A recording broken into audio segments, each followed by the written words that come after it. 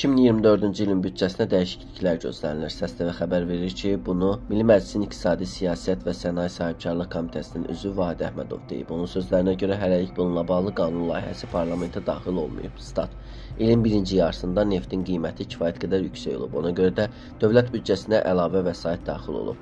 Həmin vəsaitin xərclənməsi yönəldiləcəyi istiqamətlər müzakirə edilə bilər. Prezident İlham Əliyev azad olunmuş ərazilərdə görülən işləri sürətləndirmək, əhalinin doğma torpaqlarına qayıdışını tezləşdirmək üçün addımlara önəm verdiyini bəyan edib. İkinci vacib sahə müdafiə və təhlükəsizlikdir. Sosial müdafiə sahəsində də ayrılan vəsaitin artırılması müzakirə oluna bilər. Statın sonu.